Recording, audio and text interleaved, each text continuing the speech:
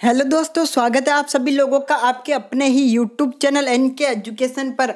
आज के इस वीडियो में मैं बात करने वाला हूँ Rajasthan B S T C दो हज़ार उन्नीस के बारे में।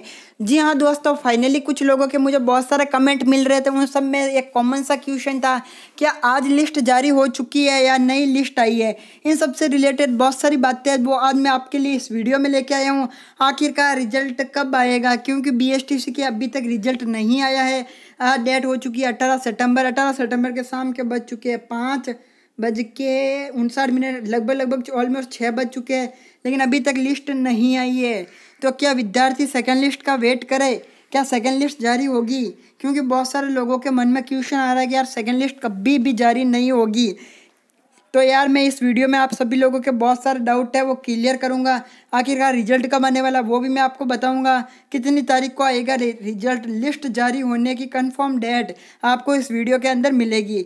इसके लिए ये वीडियो बहुत ही ज़्यादा नॉलेजेबल होने वाला। अगर आपने अभी तक इनके एजुकेशन को सब्सक्राइब नहीं किया तो सब्सक्राइब कर ले साथ ही साथ इस वीडियो को लाइक कर ले क्योंकि ये वीडियो बहुत ही ज़्यादा नॉलेजेबल होने वाला है। तो चलिए मित्रों स्टार्ट करते हैं आज के इस वीडियो को।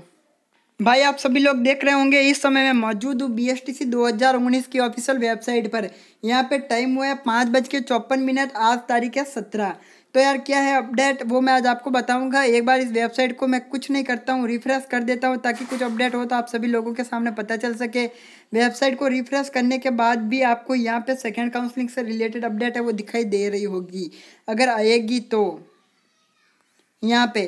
तो यार, यहाँ पे आप देखोगे कि अभी तक किसी भी प्रकार की अपडेट नहीं आई है। द्वितीय चरण संस्था, संस्थान आवंटन अतिशीघ्र घोषित कर दी जाएगी। अतिशीघ्र का क्या है? मतलब उसका लिंक आपको डिस्क्रिप्शन में मिल जाएगा। आप वहाँ से वो वीडियो देख सकते हो। साथ ही साथ अगर बात करें बीएसटीसी की सेकेंड लिस्ट तो यार वो कब तक आ जाएगी? तो यार वो 20 सितंबर से पहले किसी भी हालत में आ जाएगी। ऐसा क्यों बोल रहे हैं? तो चलिए आपके नोटिस क्लियर करता हूँ।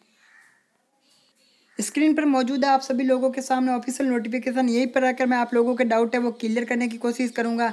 तो भाई, आप लोग देख रहे होंगे कि बी की सेकेंड लिस्ट की अलॉटमेंट है।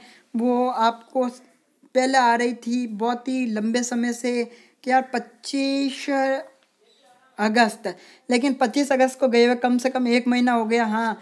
फिर BSTC ने एक न्यू अपडेट निकाला, वो तेरह सितंबर बता रही है। तेरह सितंबर के बाद अभी तक किसी भी प्रकार की अपडेट नहीं आई है।